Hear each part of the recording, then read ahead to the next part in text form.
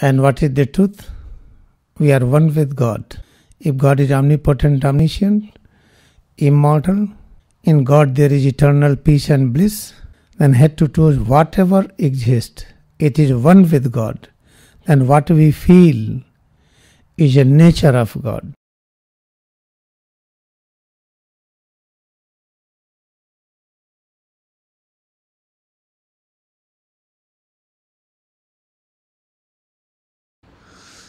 What is the important point?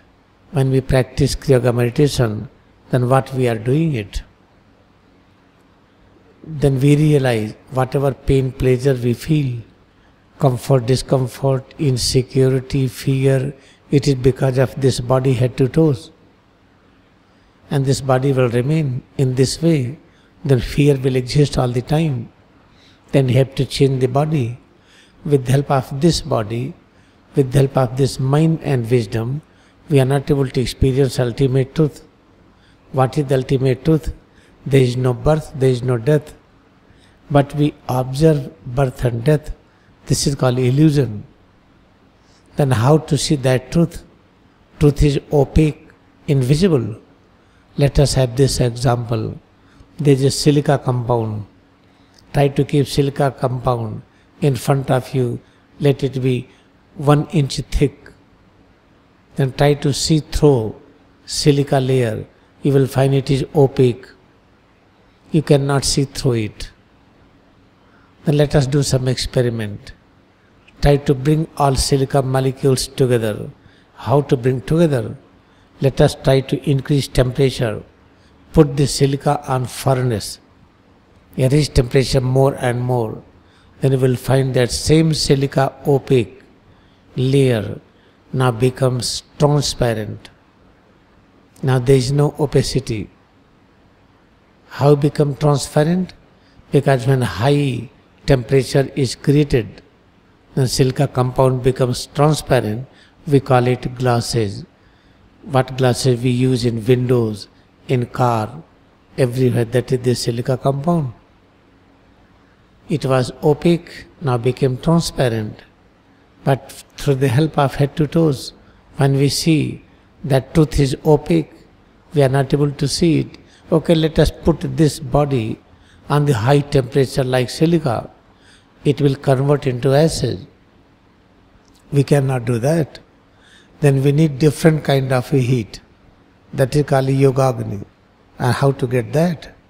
This is body, mind is somewhere else. Try to place mind on this body when distance between body and mind is reducing, we try to feel a heat. That heat is very different. That is called coolness. That is called peace.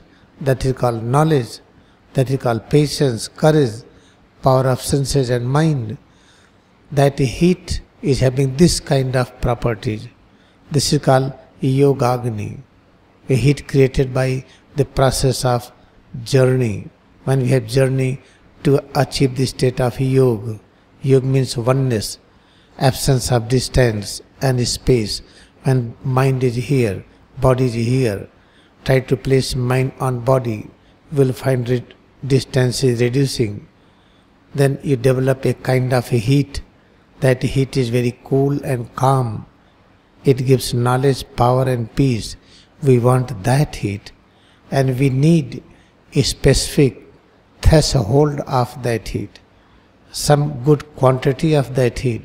Moment that quantity is achieved, then this body is changed. Now through this, whatever you will observe, that will be transparent. Then you can see the truth. What is the truth? There is no birth, there is no death.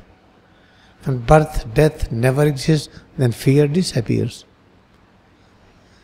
In order to get rid of fear, this is only one way journey try to create yogagni. Yogagni is known as intuition power. Then what is our aim of life? Keep on practicing it more and more. When you are having great stress and tension, do not worry. Keep on concentrating on head to toes. Fix gaze at Bhrumadhya. Watch your breath. Feel head and spine. Keep on doing it. Keep on doing it. You will find after some times that stress tension will disappear. This is a very important point, what you are listening. Now it is up to us how much we are duted in practicing this Kriyaga meditation. आइए हम आँख बंद कर लें क्रिया योग ध्यान के प्रति अपनी भक्ति को नमन करें let us close our eyes bow down to our devotion in Kriya Yoga meditation we have. Sabada, you have done PhD in the math, mm-hmm. but you have to teach the student at the kindergarten. Then you have to speak their language, though you are in that stage. Therefore, this is the way that Jesus Christ and Lahiri Mahasaya and Krishna and Moses, like them, they came to the general public level. They started helping them but they were in very high stage of realization. If I say that I am realized or not, it doesn't, it's not going to help anyone. How much I am able to serve others and how much this service is effective for others, this is the important understanding we should have.